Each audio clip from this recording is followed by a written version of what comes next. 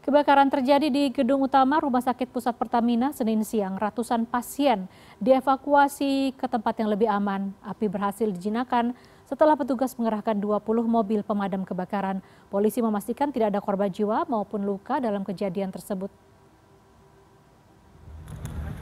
56, 79, Rumah Sakit Pusat Pertamina Kebayoran Baru Jakarta Selatan terbakar pada Senin siang. Kebakaran terjadi di lantai 4 area gedung utama rumah sakit tersebut. Asap tebal menyelimuti gedung utama rumah sakit sehingga pasien rumah sakit dievakuasi keluar area rumah sakit. Petugas pemadam kebakaran dari suku dinas Jakarta Selatan mengerahkan 20 unit mobil damkar untuk menjinakkan api.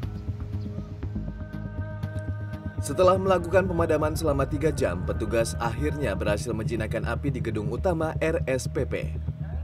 Petugas menduga api berasal dari ruang penyimpanan barang material bangunan di lantai 4 gedung utama RSPP. Setelah kita lakukan uh, peninjauan ke atas, ternyata yang terbakar di sebuah ruangan. Ruangan itu ada di lantai 4, lantai 4 dan ruangan itu dalam sedang uh, renovasi. Jadi sementara ruangan itu hanya untuk menumpuk material Polisi menduga kebakaran di RSPP ini terjadi akibat korsleting listrik. Untuk memastikannya, polisi akan melakukan olah tempat kejadian perkara setelah proses pendinginan selesai. Diduga kemungkinan besar uh, korsleting listrik yang ada di wilayah uh, rumah sakit. Di lantai berapa itu kebakarannya, Pak?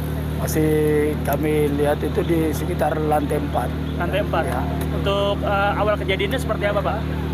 Uh, mungkin ada arus pendek dari kabel yang sekitar jam berapa pak? Sekitar jam 2. Jam 2. Sekitar jam 2. Ratusan pasien harus dievakuasi akibat kebakaran di Rumah Sakit Pusat Pertamina Jakarta Selatan ini.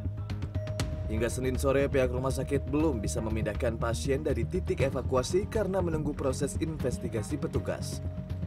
Meskipun demikian, pihak rumah sakit memastikan bahwa pelayanan rumah sakit tetap dibuka. Eh, pasien-pasien yang sejumlah tadi yang saya sebutkan 134 orang uh, kami pastikan tidak ada yang korban tidak ada korban jiwa dan mereka telah ditangani dengan baik. Mereka dipindahkan ke tempat yang aman di gedung uh, lantai 1 gedung B dan IGD jadi seluruh pasien telah menangan, telah mendapat penanganan secara baik dan semua perawat dan dokter kami tetap standby untuk menunggu pasien-pasien tersebut sampai kondisi aman untuk bisa dikembalikan ke ruang rawat inap seperti semula.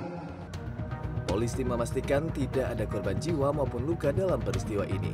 Tim Liputan CNN Indonesia.